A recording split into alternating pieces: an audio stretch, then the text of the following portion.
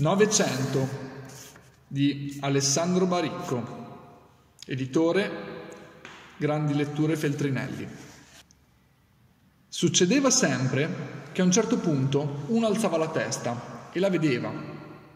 È una cosa difficile da capire, voglio dire, ci stavamo più di mille eh, su quella nave, tra ricconi in viaggio, emigranti, gente strana e noi. Eppure c'era sempre uno, uno solo, uno che per primo la vedeva. Magari era lì che stava mangiando o passeggiando, semplicemente lì sul ponte. Magari era lì che stava aggiustando i pantaloni, alzava la testa un attimo, buttava un occhio verso il mare e la vedeva. Allora si inchiodava lì dove era, gli partiva il cuore a mille e sempre, tutte le maledette volte, giuro, sempre, si girava verso di noi, verso la nave, verso tutti e gridava L'America! Poi rimaneva lì, immobile, come se avesse dovuto entrare in una fotografia, con la faccia di uno che l'avrebbe fatta lui l'America.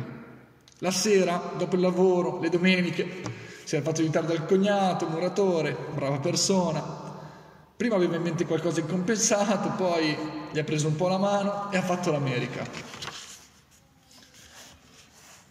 Quello che per primo vede l'America, su ogni nave ce n'è uno, e non bisogna pensare mm, che siano cose che succedono per caso, no, e nemmeno per una questione di diotrie, è il destino quello.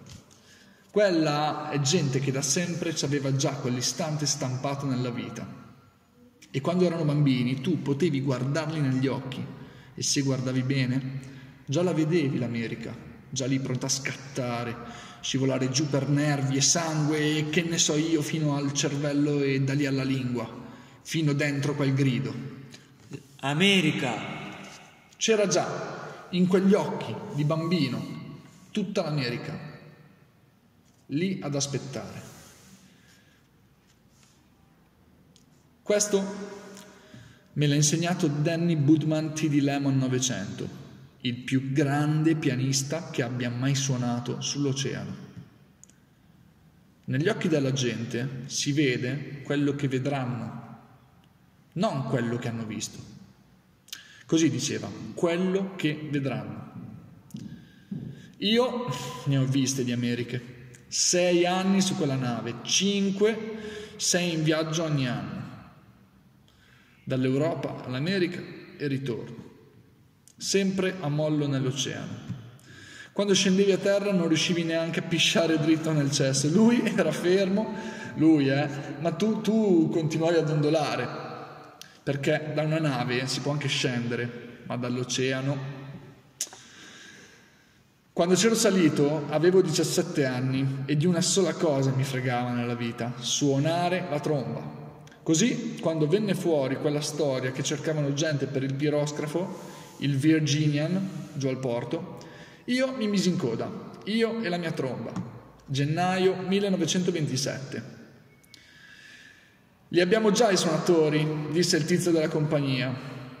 Lo so, e mi misi a suonare. Lui se ne stette lì a fissarmi senza muovere un muscolo, aspettò che finissi senza dire una parola, poi mi chiese: Cos'era? Non lo so. Gli si illuminarono gli occhi. Quando non sai cos'è, allora è jazz. Poi fece una cosa strana con la bocca. Forse era un sorriso. Aveva un dente d'oro proprio qui, così in centro che sembrava l'avesse messo in vetrina per venderlo. Ci vanno matti per quella musica lassù. Lassù voleva dire sulla nave, e quella specie di sorriso voleva dire che mi avevano preso.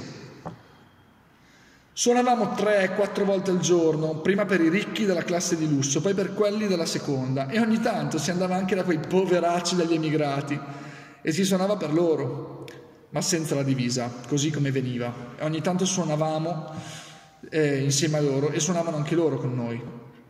Suonavamo perché l'oceano è grande e fa paura. Suonavamo perché la gente non sentisse passare il tempo e si dimenticasse dove era e chi era. Suonavamo per farli ballare, perché se balli non puoi morire e ti senti Dio. E suonavamo il ragtime, perché è la musica su cui Dio balla, quando nessuno lo vede, su cui Dio ballava, se solo era negro.